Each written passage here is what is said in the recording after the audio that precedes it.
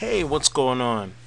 In this tutorial, we're going to be going over the basics of uh, optimizing your images for the web.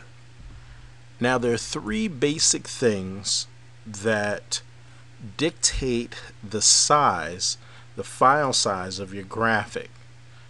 All right, and that's what we're going to start with. The first thing is the actual size of the file. Now here I have Fireworks CS um, 5. This is 5.1 here. And um, this is a great way to optimize your images um, using Fireworks. I love it. It's the easiest way I found to do it. It's a little button right there. You click optimize, but we'll get to that in a second. The first thing that we're going to look at is this right here. This is the beginning file size of our graphic. This is the file type. This number right here is the load time, the estimated load time that it would take for a graphic like this one to load in the browser using dial-up. 56k is dial-up. 28.8, 56k, those are dial-up. You get up to like 128, that's considered high speed. Um, so I set mine for dial-up. That's the default.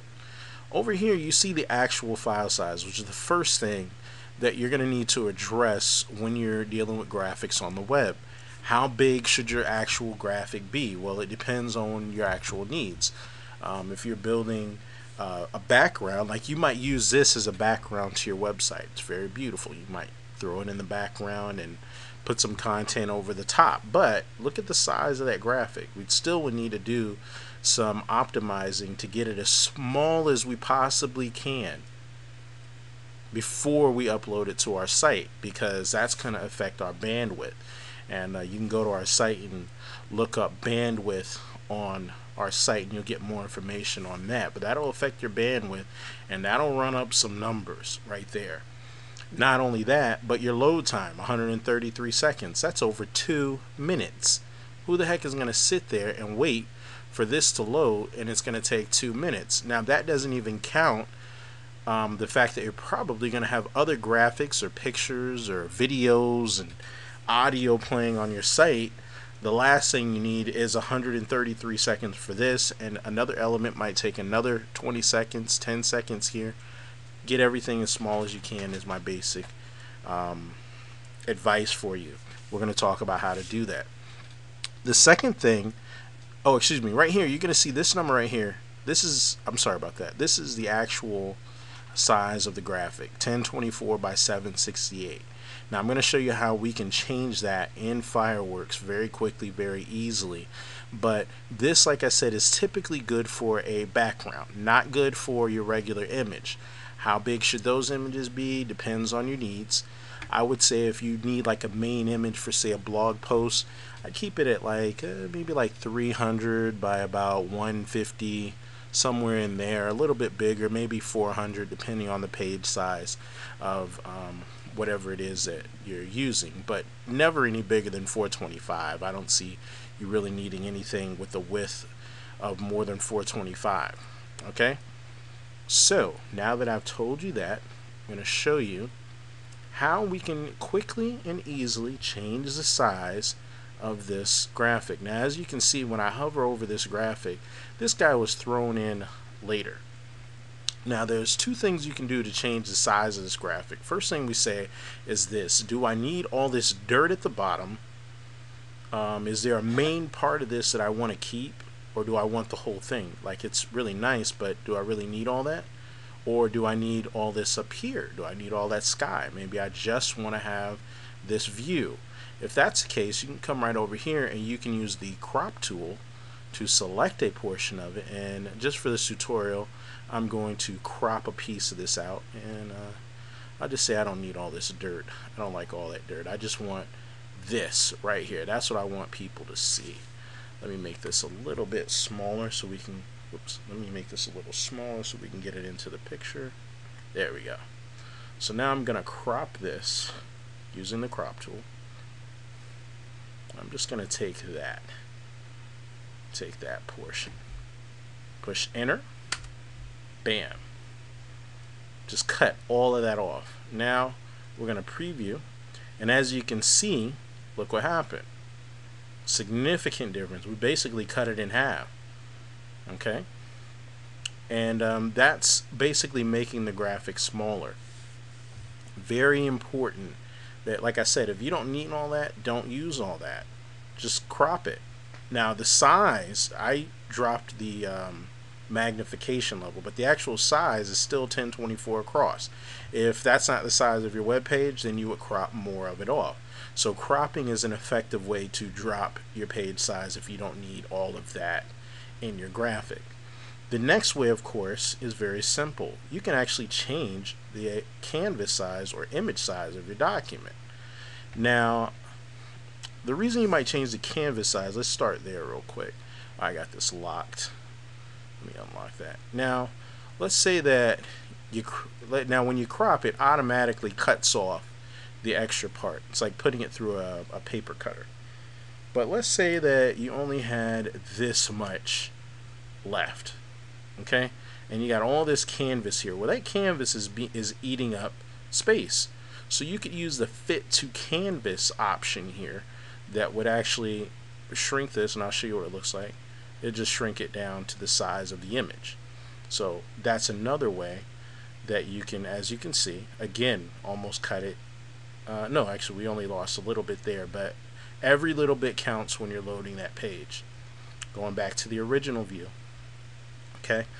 Um, we have another oops. One other option obviously like I said you may want to just change the entire size of this graphic. To do that all you do is click the image size button down here. Click that. And you want to constrain the proportions usually which basically means that as you change one section that it will change as you change one dimension horizontal that the vertical will also automatically um, change its proportion or change in proportion to that. So right now, cancel that. Where are we now? Um, the size of the graphic still 853 by 388. Let's change this down to 425. Let's just say we want to do it. Now I could just click the image here as you saw and then change the settings. But if I do that then the canvas doesn't change. So we just change the full image size and that'll change the canvas as well. So 425 and apparently that's 193 pixels. Click OK. Now as you can see the graphic and everything in the graphic got smaller. So now we're getting somewhere. Now we got a little graphic we can throw up on our page and let's see the size on that. To do that you click preview and that'll take you over here to this page.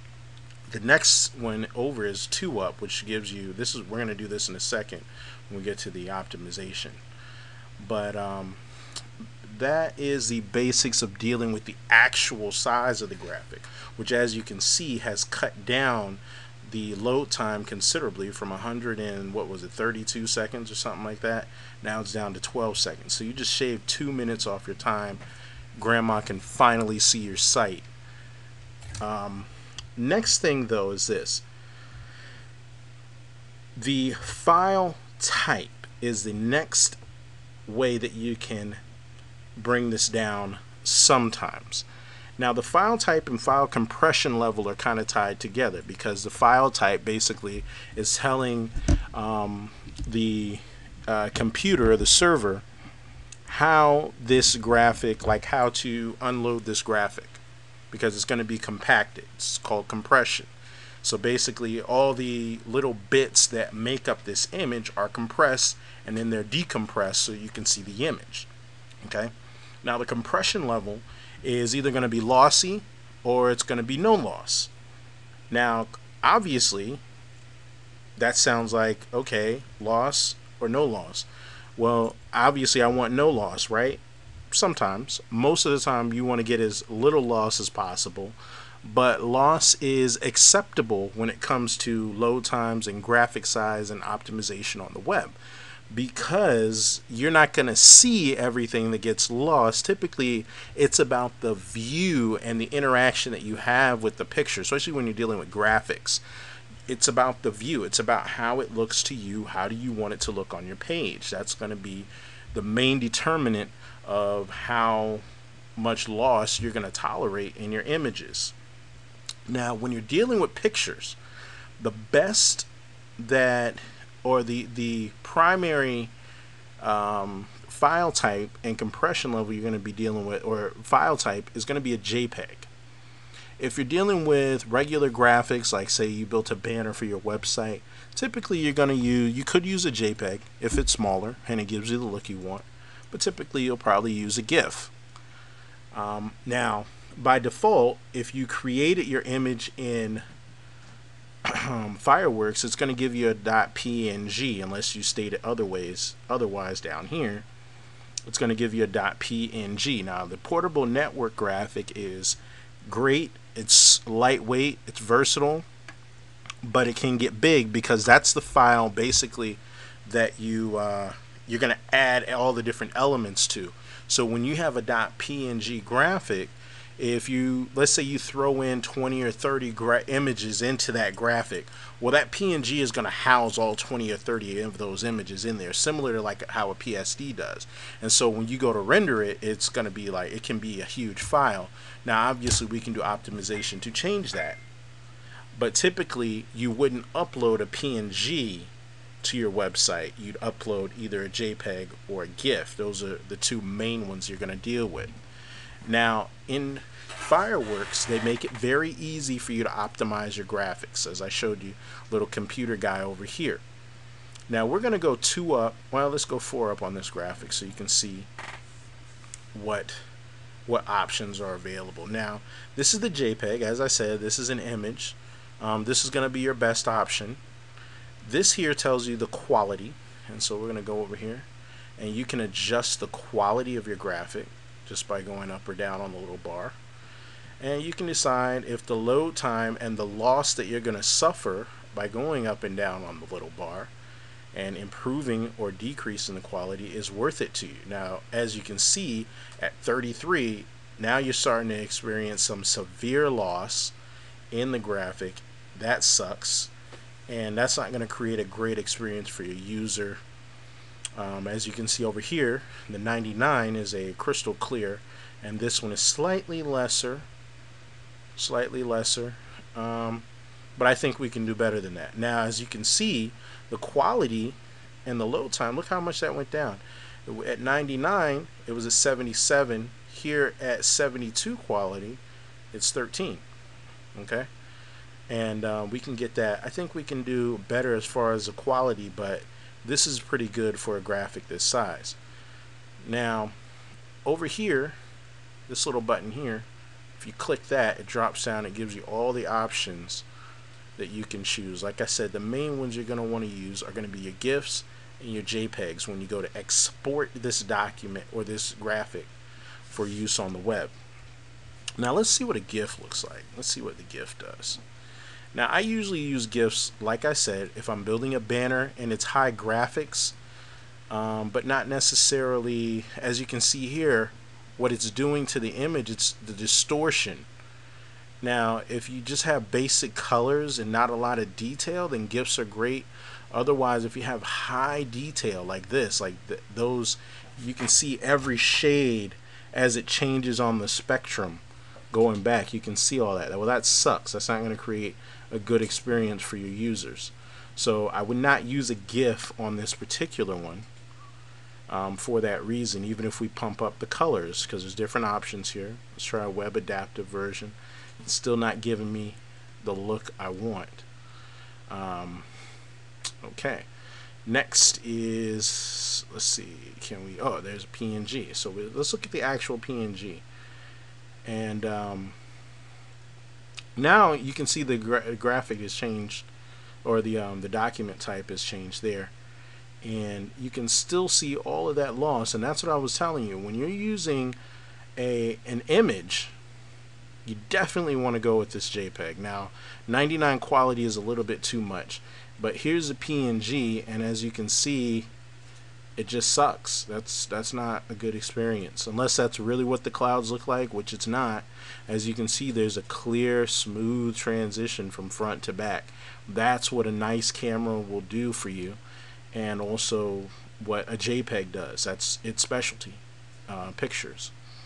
So I think we're going to go with a, with a JPEG just so I can get through this tutorial. And I'm going to show you, let's move the quality down a little bit. Let's see how that looks. What is that? I like that. 80 is good. Typically 80 is going to give you um, a fair give and take relationship. Now that you've decided how you want to display the graphic, you've gotten it shrunken down, you've chosen your file type, you've chosen your